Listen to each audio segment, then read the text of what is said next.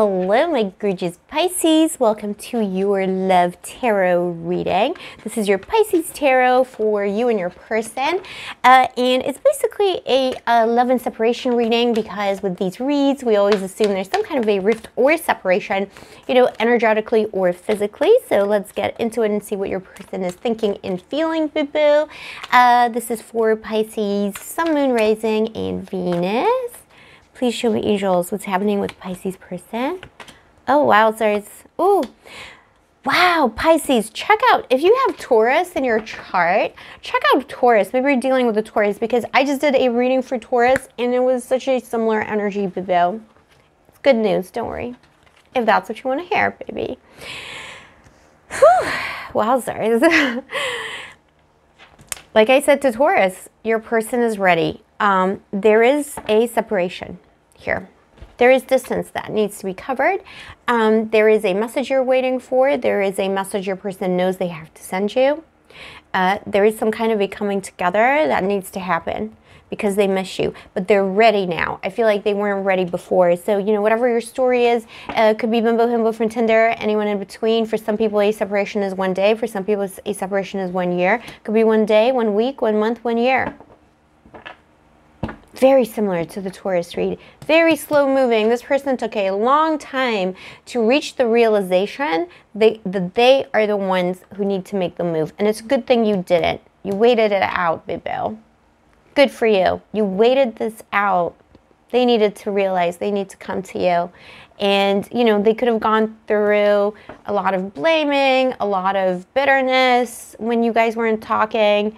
Um, but now they're ready to come your way, babe. Now they're ready. Please show me, angels, why? They, you know, they see you as the love of your life. Yeah, there is disappointment here. Five of Cups, there's disappointment, grave disappointment.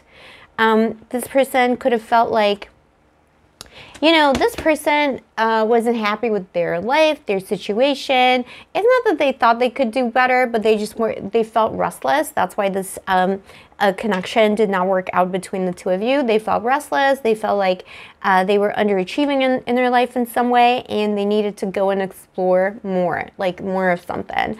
But, but they gravely disappointed you with their behavior. Could have been immaturity, could have been... Mm, but it was it was broken promises too here. I do see that. There was yeah, broken promises. You guys are soulmates, Bill. This person felt it, you felt it, but this person just was not able to keep up with the soulmate energy the vibe you know? This person didn't meet you halfway. They didn't you know they they could have broken the promise of a commitment. So you know they could have said they you know they want to make it official or it could have been an engagement marriage whatever it was. Maybe you guys were together for a, a longer time. Maybe uh, maybe not. Maybe it was a new connection. Either way there was uh, the promise of something here and the promise was broken because this person was immature they didn't know what they wanted they didn't recognize you as a soulmate at first they just they didn't they weren't vibing on your own higher energy. But this queen of cups you know this is you boo boo this is our water signs um, this is how this person sees you as the love of their life. Like they're getting the soulmate vibe now. Um, Unfortunately, it took them disappointing and hurting you for them to realize what they lost. But they see you as the ultimate. You're like the king, queen, anyone in between of their life, of their heart. You rule their heart. Uh, but they also see you as someone, you know, very much, you know, a queen is sitting on her throne. They see you very much in possession of your feelings, faculties, and control. They know they have to come to you as a knight, you know. A knight will bow before a queen, but they'll that's the key here. Yeah, their intention. So I'm getting, someone else got a reading like this uh, today as well. I think maybe it was Cancer actually, because Pisces and Cancer on my channel always get a similar reading. It's kind of uncanny. I got uh, Leo's too. Leo always gets a crazy read, and Pisces and Cancer always get a similar read. and Scorpio is always off the charts too. The Hierophant and the Ace of Pentacles, Bibo, their intention is to offer you look, like it's all offers here and it's very concrete. It's not, you know, broken promises anymore like it was in the past. This person, I'm definitely getting the vibes of like a marriage or an engagement being broken here. Or, you know, symbolically, it could be an engagement in the sense of like a promise was made, uh, a commitment was implied. Someone implied that they want to be with you, they want to have a future with you, see you as marriage material, some kind of a promise, you know, either made, spoken, or implied. And they want to renew that. They want to offer you this now this person is coming back in because they want to marry you. They don't want to, they don't have anyone else in their life. They don't want they don't want anyone else in their life. They want to have a future with you. They want to give you the keys to their heart because you already hold the key to their heart. That's the point. They want to give you the keys to their house as well. I don't know that might be relevant for someone. I felt like saying that. Okay, let's see. Yeah. Yeah, they want to start again with a clean slate. You've got the Ace of Swords, uh, the Sun, Justice, but they know that their karma needs to come back around, and they know when they come back in, you guys are going to have to have a very serious conversation. You've got the Seven of Wands as their next action. This is someone who's going to take a stand and fight for this connection, Bibbo, because they know they effed up. Yeah, they know just justice is on your side, babe. Pisces, yeah, you're going to have to judge them. What do you want in this situation? The Tower, because they really they know what they did was kind of sneaky and it was it was quite epic, unnerving, uh, unnecessarily unnerving and dramatic, very unexpected too. So I do see someone here who you know could have. It's like it's like a runaway bride situation. Could be a, a, a sudden ghosting, very unexpected. This person caught you off guard, or maybe you know whatever happened here was so like unexpected that this person just you know turned out to maybe want something other than they implied. But this is a broken promise, quite unexpected or shocking. Um, unnecessarily cruel as well. I'm getting that, Bibbo. Let's see. Who is this person truly in their soul? And what is the advice for my Pisces? Ooh, Pisces. Why the drama? King of Pentacles. This is who this person truly is.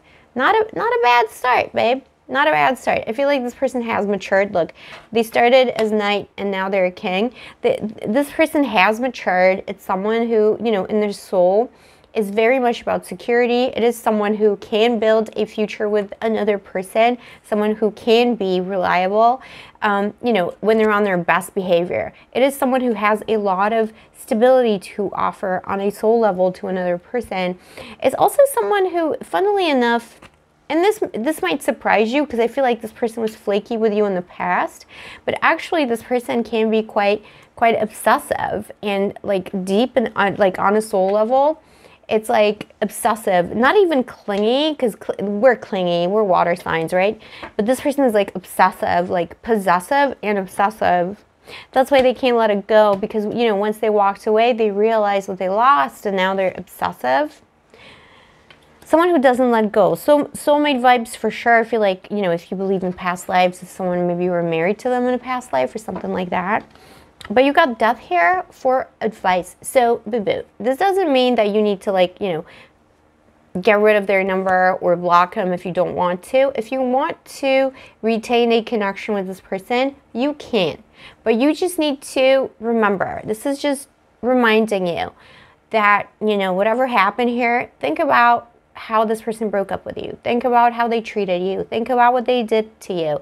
Is this really something you want to transform and resurrect from the dead? Is it really what you want? Because if you want it, you can have it. Because death is transformation and it is rebirth too. And you do have Six of Cups at the bottom of the deck, which has, you know, something coming in from the past. This is a love from the past. And the devil, obsession, more obsession. You could be dealing with a Capricorn the Empress behind, yeah, like, you know, there's a lot of epic energy, major arcana, uh, soulmate feels, love from the past, past life connection kind of thing. But, but I mean, death is what you got for advice, which is if you want to let it go, if you feel, you know, if you feel you want to let it go, you should let it go. If you think you can transform it, you should transform it. But just be wary and just be aware of what happened here in the past, what this person did to you and just make sure that it cannot happen again if you commit yourself to this person, Bibo. This is the advice that I would give you here. Also, you know, Scorpio energy. Scorpio, you know, this is a little reminder here. What would a Scorpio do in this situation? How much does this person actually hurt you? Is it time is it payback time? Because they, they got karma here, you know? Maybe you were their karma. Maybe they needed to learn this lesson that if they hurt someone, they will lose them. Take these messages as they resonate. This is a general reading on the internet. So, you know, this is all about free will. Whatever you want to do will be the correct thing to do. But just be mindful that you might be acting as someone's karma here. So, you know, be just, but be fair as well, and don't be too forgiving. Uh, because as water signs, we have this tendency to be a little too forgiving uh, very often and too, you know, we're very emotional, of course, uh, and that means that, you know, we, we have a lot of empathy, too much empathy sometimes, do. Let me know in the comments below, Pisces, if this resonated for you. Uh, also, uh, like the video if uh, it helps you in any way. I really appreciate it. I am a small creator on YouTube and it really helps me out when you like my videos. Also, subscribe for more content and uh, turn on that notification button, of course. And yeah, that is it for uh, from me. Uh, Pisces, if you'd like to get a personal reading, all of the information is in the description box below. I will see you next time, boo. Take care of yourself and may the angels protect you.